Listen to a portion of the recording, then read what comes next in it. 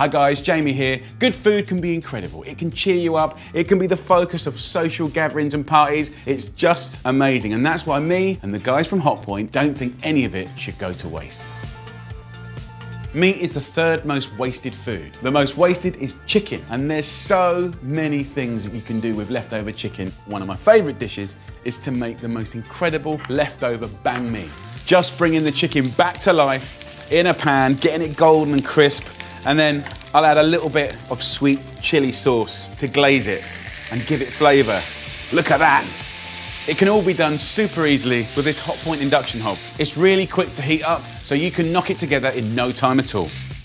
Come on! That is a sandwich. Freezers are like time capsules for food. It's like pressing pause. If you've got some fruit about to go bad, put it in the freezer, so then you can make wonderful puddings, desserts, sauces, smoothies another day. I love freezing herbs before they go to waste. Tear them up, pop them into little ice cube trays with a little olive oil, whack them in a freezer, and they're like little flavour bombs ready to be used in your cooking. Amazing and properly, properly clever. You can freeze other stuff too, like curry paste, leftover coconut milk, perfect for making a dish like this lamb and chickpea curry. Delicious.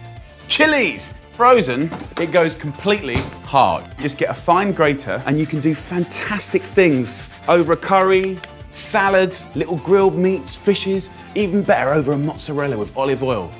Delicious.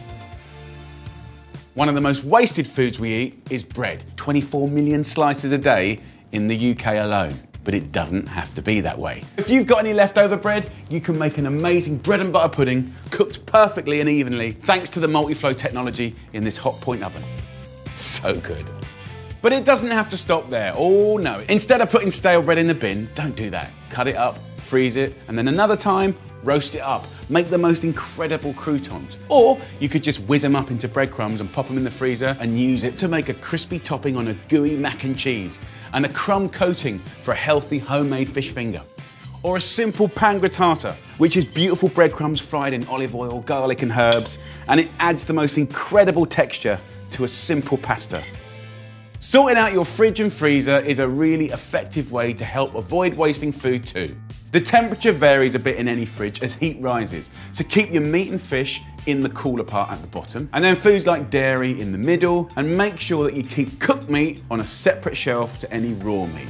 Keeping veg in the correct drawer, like the crisper drawer in this Hotpoint fridge, is absolutely key to fresh, crunchy and delicious veg. Proper organisation also means that you can easily see what you've got to play with and it can help you rustle up something really delicious like an amazing chopped salad. You can use so many things. Cabbages, herbs, fruits, you name it, you can get it in there, dress it with a little bit of love and you get something as beautiful as this.